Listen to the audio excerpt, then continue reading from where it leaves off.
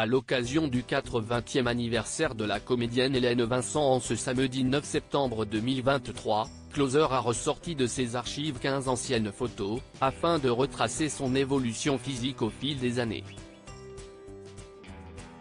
Venue au monde le 9 septembre 1943 à Paris, l'actrice Hélène Vincent, dont le véritable nom est en fait Jocelyne Hélène Nain, célèbre en ce samedi 9 septembre 2023 son 80e anniversaire.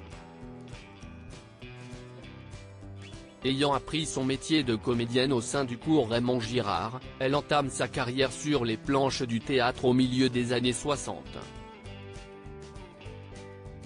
Hélène Vincent tournera ensuite régulièrement dans des longs métrages diffusés sur le petit et le grand écran dès les années 70.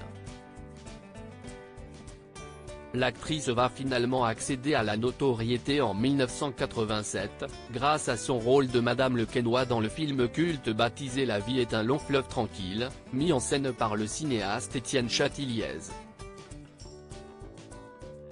Sa prestation dans cette œuvre lui fut saluée par la critique. La comédienne sera ainsi récompensée par le César de la meilleure actrice dans un second rôle en 1989. Durant son illustre carrière, Hélène Vincent est apparue dans un très grand nombre de films.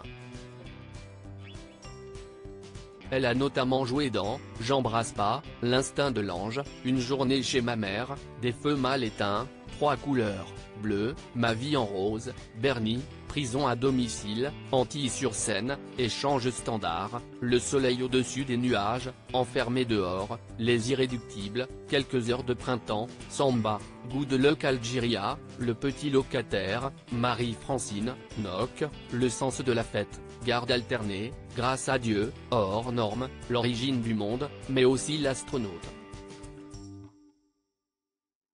Au total, Hélène Vincent fut nommée pour le César de la meilleure actrice dans un second rôle en 1992 et 2020. La comédienne a également été nommée pour le César de la meilleure actrice en 2013, grâce à sa performance dans le long métrage baptisé Quelques heures de printemps.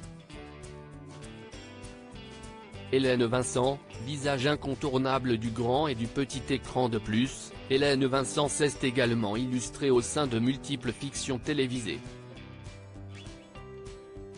Le public a ainsi pu admirer ses talents d'interprète dans « Le Comte de Monte Cristo »,« La beauté sur la terre »,« L'impasse du cachalot »,« Les Alizés »,« L'emmerdeuse »,« La maison des enfants »,« Une maison dans la tempête »,« Les caprices de l'amour »,« Clara Scheller »,« Jeunesse oblige »,« Les rois maudits »,« Joséphine »,« Ange gardien »,« Les petits meurtres d'Agatha Christie »,« Ticket gagnant »,« Mourir d'Heimer »,« 35 kilos d'espoir »,« Fais pas ci, fais pas ça, La résidence, La loi selon Bartoli, Le premier été, La trouvaille de Juliette, Capitaine Marlowe, L'annonce, Noce d'or, Meurtre à Albi, mais aussi Un homme d'honneur. Vivant aujourd'hui dans le département de la Nièvre, Hélène Vincent est mariée à l'acteur et metteur en scène Jean-Pierre Vincent. La comédienne est également la mère du réalisateur Thomas Vincent.